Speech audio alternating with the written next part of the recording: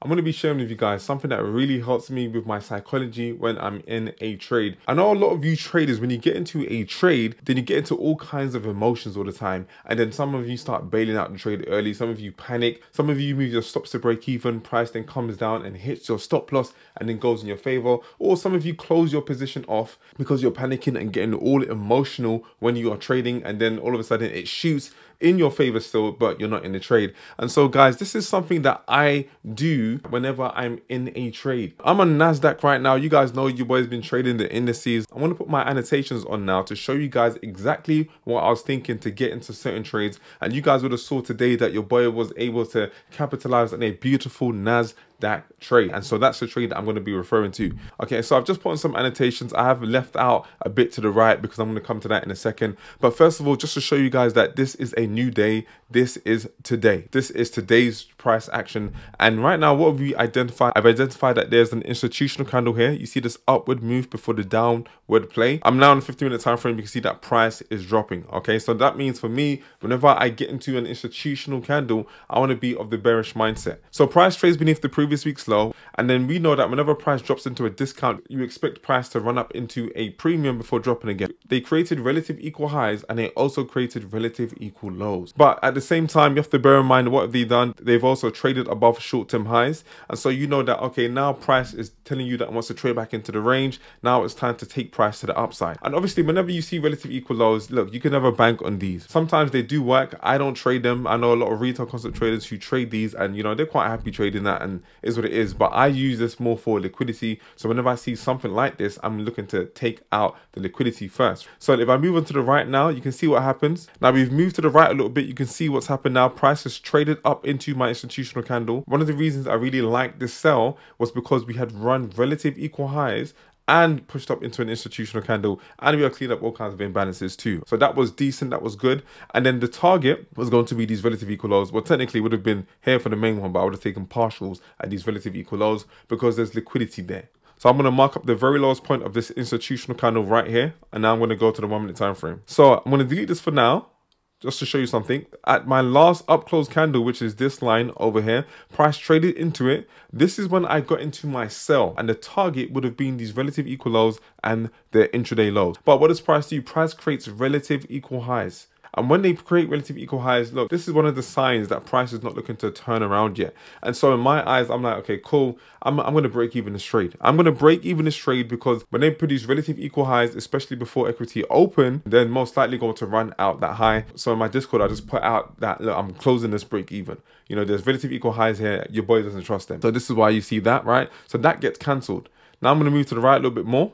So I've just deleted that for now, the sell, just so you can see this very clearly. Now, price trades up into this high three times. So in other words, it produces triple highs over here. You never ever want to be trading triple highs. So they produced triple highs at my last up close candle. Your boy wasn't happy with that. So then what happens next? So I'm giving you all of this to show you guys what my mindset was at the beginning. When they created these relative equal highs, you have to bear in mind what price is doing here. Price is traded above up close candles. It's retraced into a discount and it's pushed off again up into a premium. What do you think is going to happen? You want to wait for price to retrace down into a discount or into equilibrium. So from this very low to this very high. Yes, I know it's very annoying because you're using relatively equal lows, but this is a low right now. And we've taken out this high, so this is a low. So from the very low to the very high, if you eyeball up 50%, you should get down to this institutional candle. This is where I took my buy. So you saw that I was in a NASDAQ buy from this low over here. So basically this down close candle here, this whole down close candle, and I took it to this high.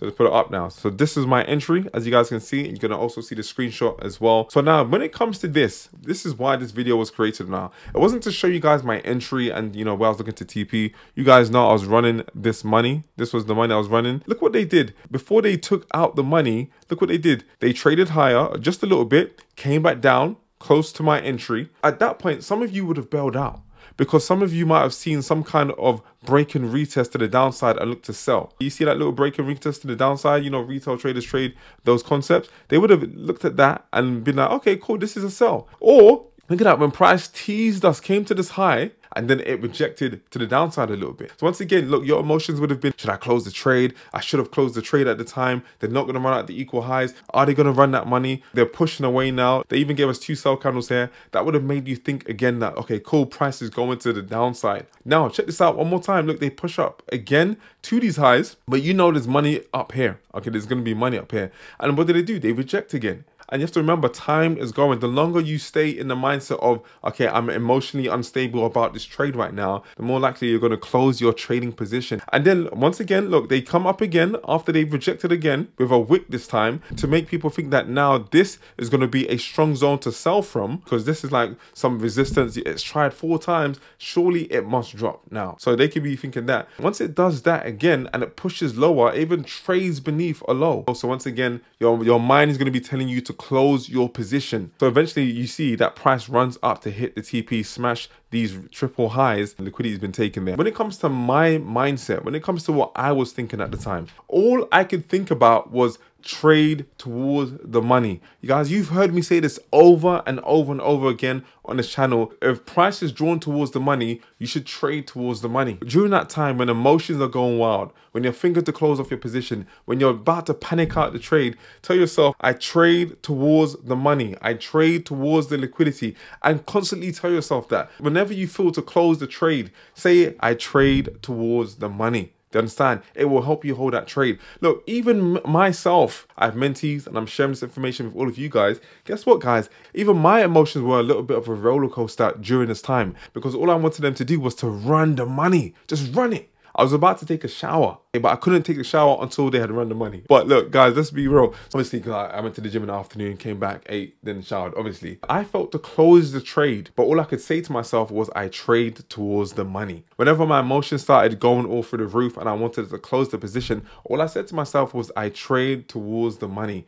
Price is drawn towards the money, so that's where I'm going to be heading. And eventually, it ran it. After all of this, after all of you know the opinion being put out there that this level was going to hold. You have relative equal highs, triple highs. You have a resistance zone. You've got rejections now. Maybe an engulfing candle here. You see that look, look cool engulfing candle on a high time frame. Then eventually it just smashes through that level. And then, like I said many times before, look, it's vitally important to either close your position or take partials when price runs out liquidity. Why? Because oftentimes price can reverse or turn around when it runs out liquidity. If you did not take your profits, price would have dropped Nearabouts to your entry, you would have either been stopped out break even if you had broken even a trade, or you would have felt so bad that you never close your position when price ran liquidity that you would have closed it near about these lows when price has gone into the downside. And so that's why it's vitally important to bear this in mind at all times. Whenever you see money, liquidity, and you're in a position to run that, you tell yourself you trade towards the money. That will help you hold that position. And then once price runs out that money, once price runs the liquidity, that's when you take partials or close your full position. I close off my full position up here no games. And so I didn't have to suffer the emotion of this, this drop here. I didn't have to suffer none of that because I was done trading on NASDAQ. So remember at all times, trade towards the money. Peace.